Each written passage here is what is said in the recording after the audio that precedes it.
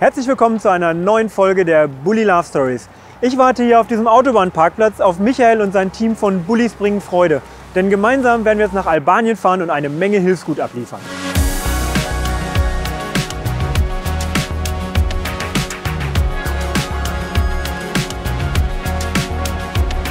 Die erste Etappe ist fast geschafft. Wir sind kurz vor der slowenischen Grenze und äh, steuern jetzt unseren Campingplatz an. Erste Etappe, man muss sich noch ein bisschen eingrooven. Wir sind fünf Autos, ganz schöne Herausforderung. Fünf Autos im Konvoi. Wir haben Walkie-Talkies dabei, so können wir ein bisschen kommunizieren, nicht, dass wir einen verlieren. Ist aber schon auch manchmal ein bisschen tricky, der Verkehr, recht viele LKWs. Aber das haben wir ganz gut gemeistert, glaube ich.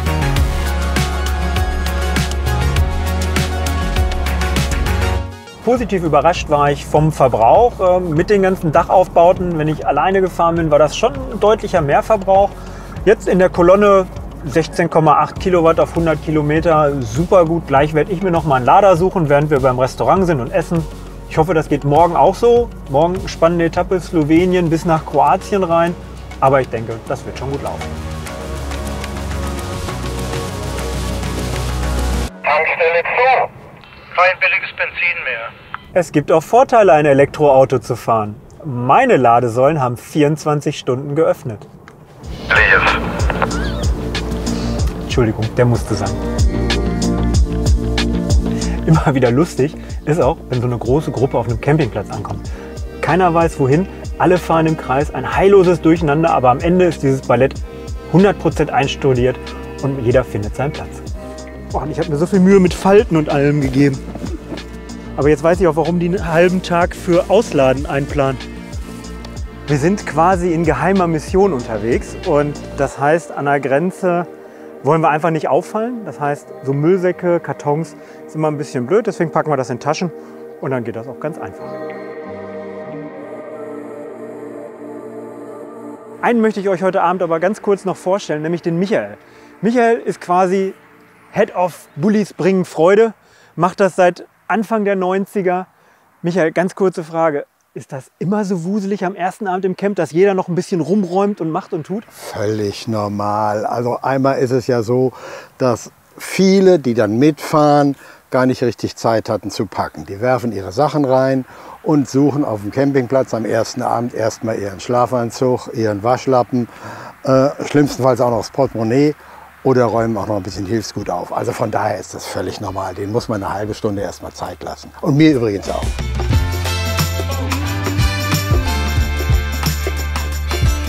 Wir sind schon wieder unterwegs und da drüben sehen wir den Höhenzug. Da ist schon die slowenische Grenze, denn wir fahren gleich durch Slowenien durch, ab nach Kroatien und da wartet hoffentlich ein leckeres Mittagessen auf uns.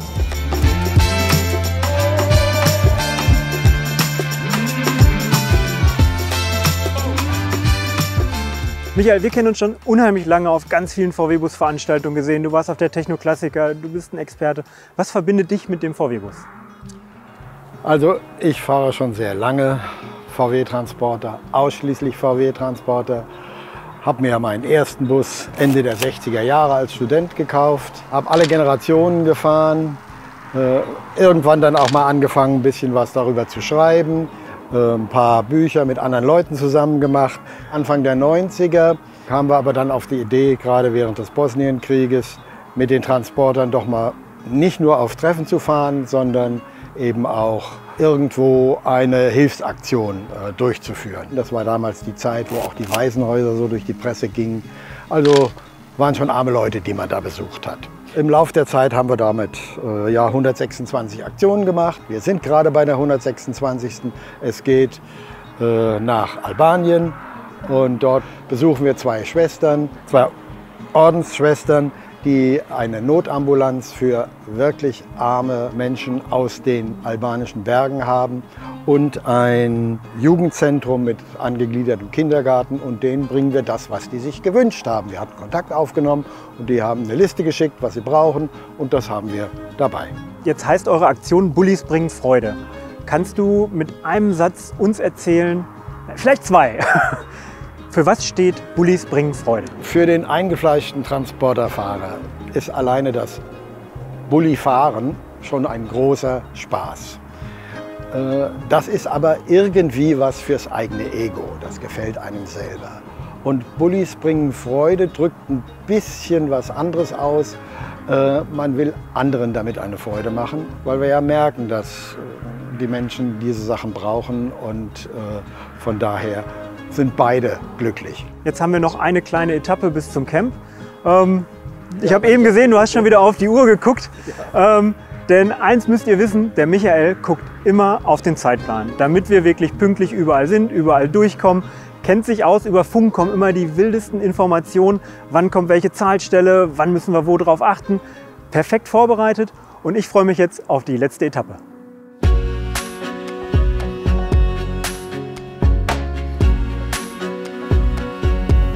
Wir sind jetzt gerade in Kroatien angekommen über die Grenze und der Michael hat ganz freudig äh, durch Funk gesagt, dass es so einfach noch nie war, denn mittlerweile ist Kroatien im Schengen-Abkommen und es gibt keine Grenzkontrollen mehr. Herzlich willkommen in Europa.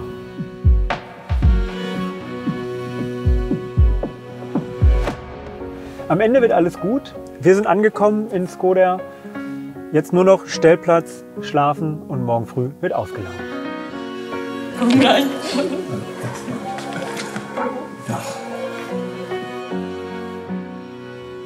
Guten Morgen in Albanien. Wir haben wundervoll geschlafen und bevor es jetzt gleich rüber zu den Ordensschwestern geht, möchte ich euch kurz zwei Teammitglieder vorstellen. Einer davon ist Klaus und Klaus ist das erste Mal dabei. Klaus, warum bist du überhaupt mitgefahren? Naja, so wie wir alle wahrscheinlich einen kleinen Nagel am Kopf haben wegen VW-Börsen, habe ich noch einen kleinen Nagel zum Hil Helfen. Und das ist nicht das erste Mal, dass ich helfe. Und ich habe einen Anruf bekommen, es würde noch ein Fahrer fehlen für einen Hilfskonvoi. Und äh, irgendwie habe ich mir gedacht, so, pff, das ist eine coole Sache, da habe ich Bock drauf. Und ähm, ich hatte aber eigentlich gar keinen Urlaub mehr. Und äh, zuerst habe ich meine Frau gefragt, die sagte, ich sehe das an den Augen, du hast ja Bock drauf, mach das. Und dann bin ich zu meinem Chef gegangen und habe gesagt, wie schaut's aus? Und er sagte so, fahr, kriegen wir schon hin. Sind deine Erwartungen erfüllt worden an die Sache hier? Ähm, Hat es dir Spaß gemacht? Was ist dein Gefühl dabei, hier dabei zu sein? Helfen kann auch Spaß machen. Und wenn Helfen Spaß macht, habe ich den Gedanken gehabt, dann würden vielleicht noch mehr Leute helfen. Ich finde, das kann man eigentlich ganz gut äh, kombinieren. Und es ist natürlich auch was total Schönes, äh, in so einem alten Auto zu fahren. Und ich finde es super. Also es ist so eine Kombination aus äh, Abenteuer, Helfen und Spaß haben. Ich war gerade beim Klaus, der war das erste Mal dabei, ist total euphorisch. Du bist jetzt nicht das erste Mal dabei. Wie viel Mal hast du ungefähr diese Aktion Bullis bringen Freude unterstützt? Also ich bin jetzt ungefähr das 98. Mal dabei. Wahnsinn. Und das heißt, du bist ja wirklich einer, der, der von ganz Anfang an dabei war. Ja, nicht von Anfang an. Ich bin 2005 eingestiegen. Also ich habe ja Michael erst so um die 2000 kennengelernt. Ähm, über ein VW-Bus-Treffen. Dann haben wir einen Frankfurter Stammtisch. Dann kamen wir zusammen. Ja. Und dann wurde über die ganzen Fahrten erzählt. Und das hat mich natürlich interessiert. Ja. Ja, und irgendwann bin ich dann eingestiegen. Bekommst du Sonderurlaub? Machst du Überstunden, damit du dann wieder frei bekommst? Wie, wie, wie schafft man das? So genau, viel ich mache Überstunden. Das ist mein Jahresurlaub. Und ich mache viele Überstunden. In meinem Job kann ich das. Und die kann ich dann schön für die Touren verwenden. Ich bin jetzt das erste Mal hier, Schwester Christina, und der Michael hat mir natürlich immer mal von euch erzählt. Ähm, wie kam eigentlich der Kontakt zustande? Also wie seid ihr, wie seid ihr beiden zusammengerasselt? Es war ein Kontakt über eine andere Gemeinschaft, über meine liebe Schwester Gundula, die ich weiß gar nicht mehr, wie alt sie schon ist. Und die hat den Michael, ich sage das jetzt ganz einfach, ganz pragmatisch zu uns geschickt. Und da stand er dann halt. Das heißt dann, da kommt jemand, irgendwelche, die heißen Bullis. Und wir, äh, Bullis, was sind denn Bullis? Ja, und der Bulli habe ich, also die Schwester Mele hat dann gegrinst, die hat das besser verstanden. Ich habe mir unter Bulli so irgendwie so äh, Bulle und äh, alles andere. Und gesagt, okay, VW, Bullis, schauen wir halt mal, ja. Gab es irgendwas ganz Besonderes, was er mal mitgebracht hat, was es, wo du dich heute noch dran erinnerst bei diesen ganzen Transporten? Er hat mir ein Fahrrad gebracht. Und da erinnere ich mich noch sehr gut dran. Aber das haben sie mir geklaut. Schade.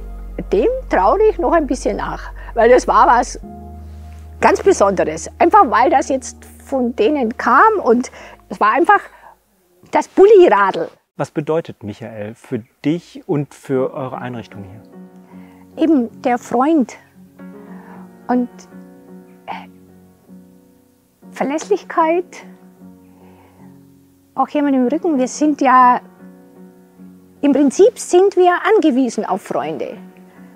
Wir leben hier total von dem, was wir kriegen. Er ist einfach da, wenn es darauf ankommt.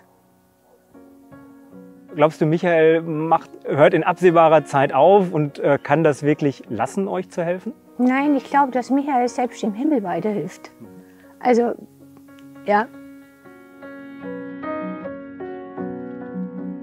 Michael, es ist beeindruckend, wie viel Material das ist. Kannst du ungefähr abschätzen, wie viel Kilo, wie viel Tonnen ungefähr? Ja, das kann man ziemlich genau sagen. Gut 100 Kilo Medikamente und etwa 500 Kilo Kinderkleidung und der Rest bis zur Tonne, wir haben eine Tonne mit, äh, sind dann alles andere. Kinderkleidung, Spielzeug, Schlafsäcke, es ist wirklich alles dabei. Da ist schon der Shuttle für das Material.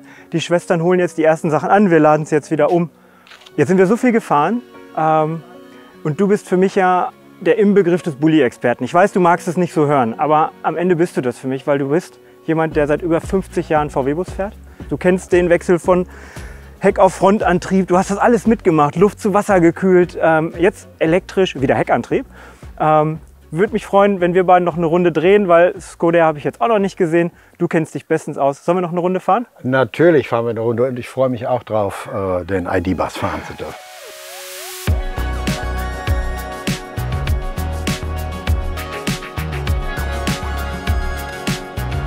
Das reine Fahren, Lenken, äh, die Übersicht, das ist alles äh, so, wie ich das gewohnt bin beim Bus.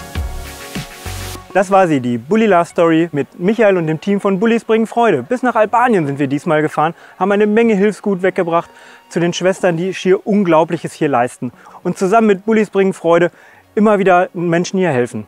Ich freue mich auf die nächste Bully Love Story. Seid ihr wieder mit dabei?